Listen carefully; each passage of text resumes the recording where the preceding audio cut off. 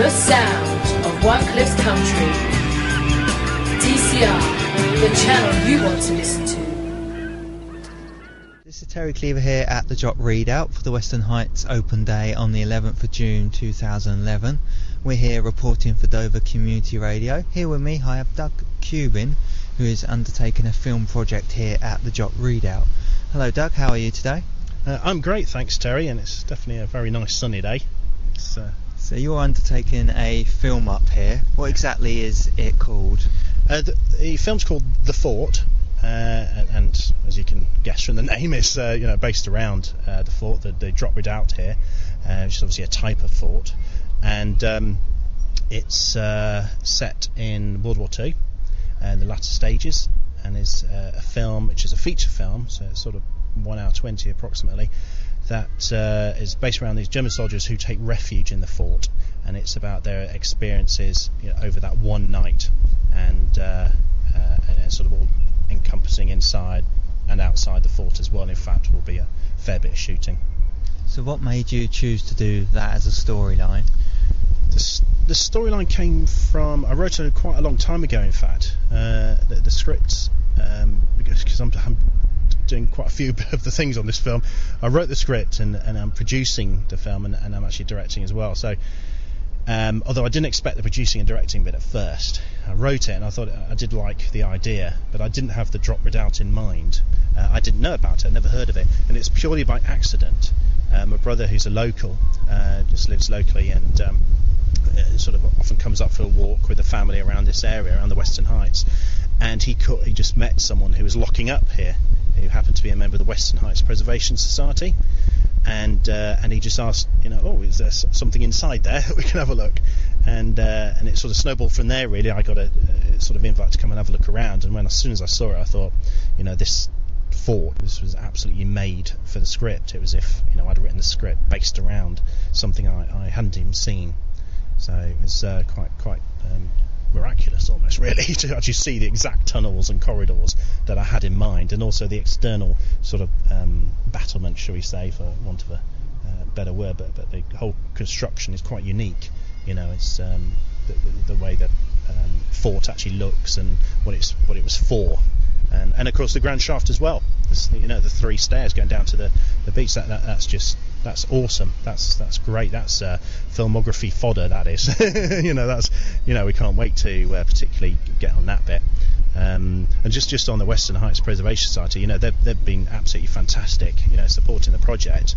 Uh, you know, people like Paul Wells and Mandy Wall, they're, they're just uh, Phil Eden, uh, really supporting the project and, and helping us whenever we come down here, you know, answer questions. And they're doing a great job, uh, purely volunteering to uh, you know clean up the fort, look after it, you know, and just do uh, lots of great work here. So you know, all due credit to them. The film is made, you know, with with a lot of their help. So, um, what sort of costumes are going to be used in the film, and the backdrops? How are they going to be used throughout it? Uh, the in terms of the costumes, there will be uh, uh, World War II. They're German soldiers. Um, they're late in the war. They're sort of what you might call normal Wehrmacht sort of soldiers, uh, you know, the sort of veteran uh, uh, old guard soldiers, and um, uh, so so that they'll have pretty they'll have pretty standard kit. It was late in the war, so really they kind of wore um, whatever they could get their hands on to a degree, or indeed what they felt comfortable in or what they liked. So they may change. There's a bit some of the detail we've changed because um, a lot of soldiers uh, like to have their own way of wearing the webbing, for example, the sort of straps and the uh, the way they carried the, the gun. They would alter and they were slightly customized. One of them uh, is a sniper and he slightly customized his, his rifle.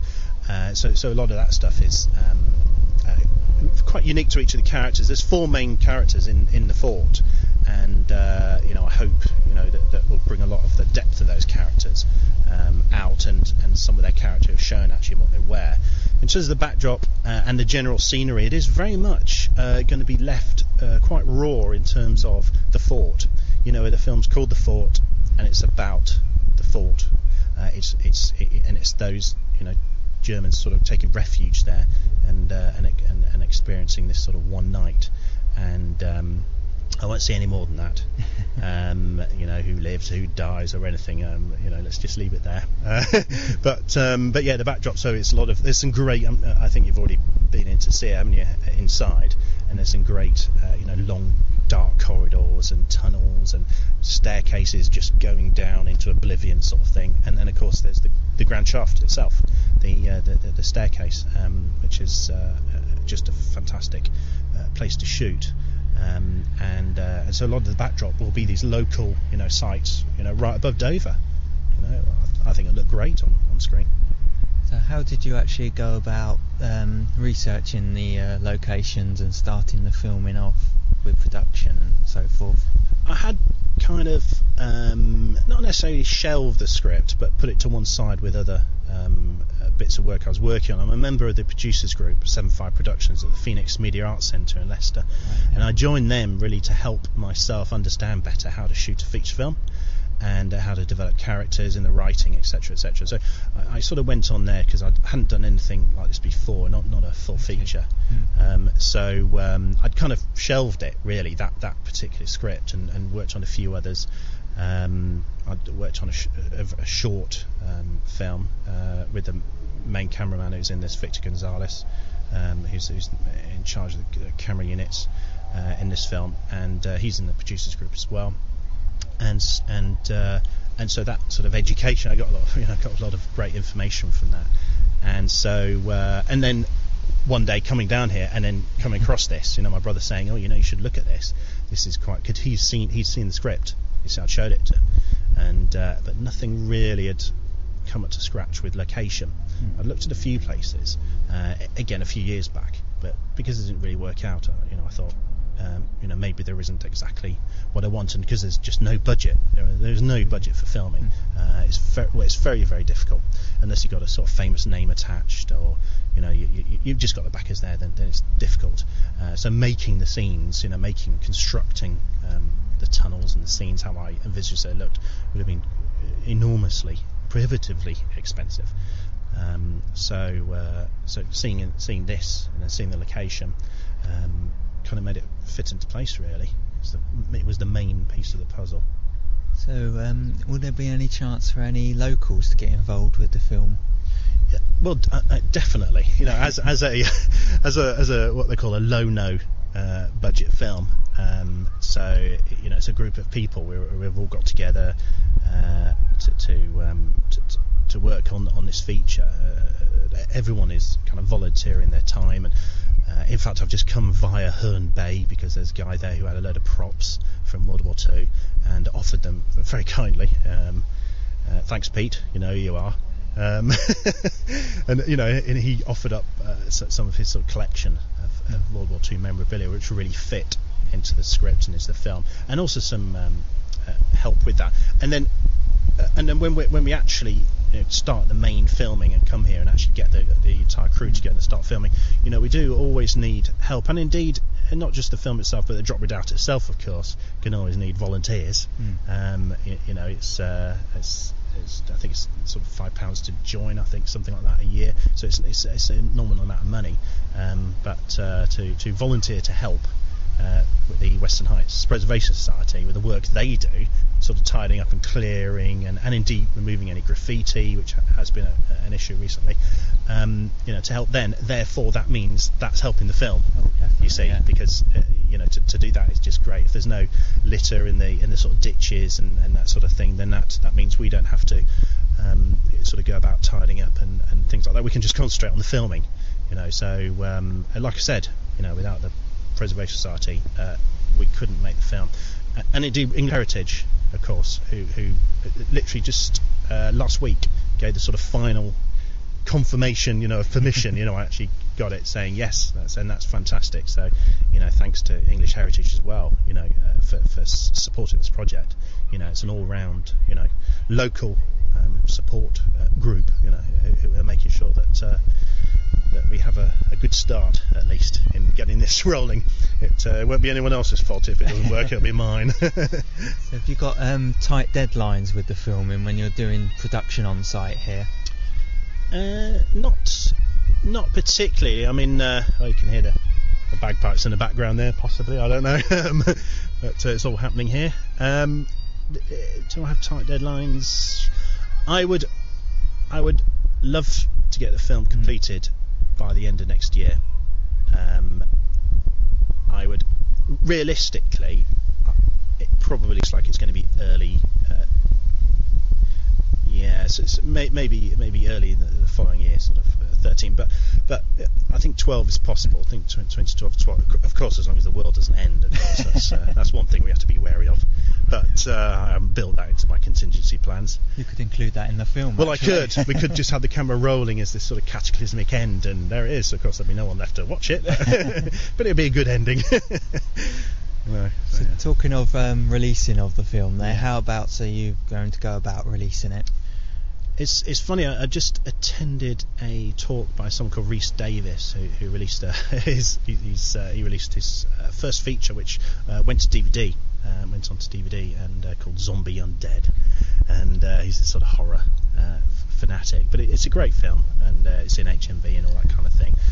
And he gave a talk on this very aspect, and um, and he's been through the whole process, and, and sort of certainly to a degree sort of mentored my uh, what I've been doing here and indeed I've read a lot of books on the subject.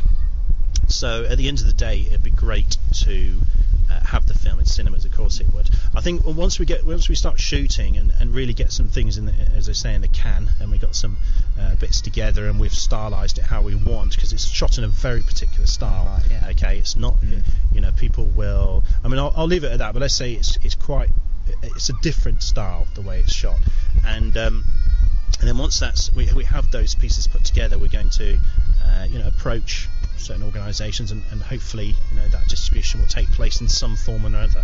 Uh, but you know what we think about right now is just to have a really great uh, film, you have a really professional film at the end of the day. You know, a great feature film which goes for one hour twenty minutes, and you know you never want to you don't mind leaving for fifteen minutes to, to stock up on popcorn. Basically, you uh, you know you just don't want to leave it really. So and that's our that's our our goal. That's everyone in the crew's goal. Um, you know, we've all watched thousands of movies between us, and and uh, we've all wor- worked on in some shape or form. Uh, various bits of film. In fact, one of the guys helping with casting uh, was in Tomb Raider 2, and uh, another guy was, um, I think he had a fight with Angelina Jolie in that, and uh, obviously he lost. You Hmm. know, but Obviously, yeah. obviously, uh, I mean you would. but um, and then uh, another guy, uh, he's in, he was in the Dark Knight. Um, so there's a bit of professional, underlying professionalism there, you know where people worked on big, big feature productions, and and that sort of input from all these uh, you know very generous people um, really can help us uh, hopefully make the right decisions and, and come up with a great production at the end of the day. So, what would you say to people who would like to see the film when it's finished? One thing to that's important to note is that we will have a whole um, marketing campaign as, uh, and it was, and it's just starting. Uh, there's a there's a Twitter uh, account called um, Fort Movie, so at Fort Movie that you can follow, and uh, and there's uh, there's a Facebook group that will be um, public and out there where you can see more. Uh, and um, and actually just just on the Twitter point, what what I'm going to be doing in that is as we're shooting and as we're producing um, film and getting getting stuff on film, you know, I'm, I'm going to be firing out tweets and saying, look, you know, we've just done this bit or we've just done that or we learned this or found out that, you know. So I- I'm hoping to bring people along for a ride in the production process, in fact, uh, and so uh, and- and really give as much information up front so everyone knows, okay, you know, how well, where can I go and see it? You know, how can I go and see it? And that because of course that's within my interest to make sure people know how to see it. And and uh, and actually, whether it's on, uh, it'll definitely be on DVD. That's for sure. right, yeah. Definitely, that that's for sure. That will happen no matter what. Um, but how, you know, and with what distributor and all that sort of thing, uh, will be will be discussed as we go along. You know, we're right at the beginning. We're in pre-production, so you know we've we've got those discussions really to take place. So decisions will be made later on. And finally, how do you feel actually doing the film here? How does it make you feel bringing it from inception to final completion when it's done? Yeah, I mean, uh, obviously, Inception is a, uh, a good film word. Um, the um, Well, it's great. I mean, obviously, because what, what happens is you, you write a script and you write you, write, you draw up the, all these characters, and I have very deep uh, profiles of, of the characters. You know, I talk about where they went to school and where they lived, if they moved house, and all this sort of thing. And these things aren't even really shown that much in the film, but they help build a very rich character. So when you do that and describe the scenes and the locations, and have an idea already of the kind of angles that you want to shoot at, and that and camera positions and things like that, and then and then suddenly you come across and see, and you can actually visualize the thing instantly and say, wow, you know, this is where the camera's going to go, and I'm going to get that. I mean, it is it is quite amazing, really, when you when you find a location as amazing they drop redoubt. Simple as that. I mean, I, I think this is, uh, and I'm really even more glad I called it the fort. I always called it the fort, but now now I know. Yes, okay, this this the fort. You know, to me, is one of the characters, is one of the protagonists in the film, and uh, so you know, and uh, and again, I won't say any more than that, but but you know, yes, it's it's fantastic to be here and to see it uh, coming alive. Um, is, is going to be, and we all can't, we just can't wait to start filming. And there's a big crew of us together now, and lots of actors, so can't wait to get started. Thanks very much, Doug. That's great. No, thank you very Thank much, you. Terry. Thank you. It's good. Thank you very much. The sound of White Cliffs country. DCR, the channel you want to listen to.